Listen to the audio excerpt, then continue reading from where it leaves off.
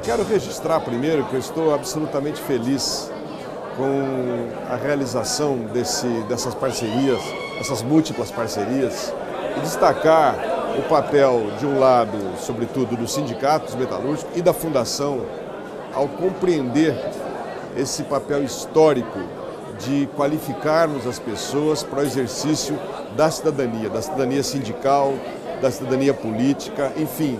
de um processo militante que, a meu juízo, é a arma que nós temos para tentarmos de fato mudar a situação que nós estamos vivendo nesse momento no país.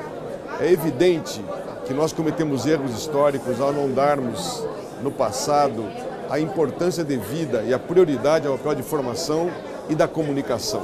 Porque é através da qualificação das pessoas, da capacidade que a pessoa adquire de, de ter senso crítico, análise própria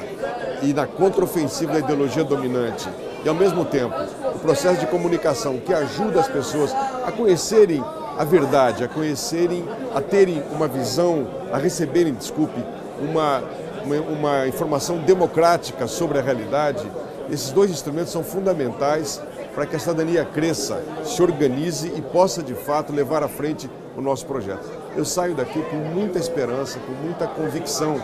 de que essa escola e esses convênios vão nos permitir fazer daqui dessa experiência uma espécie de farol que vai iluminar e que vai se multiplicar por todo o país.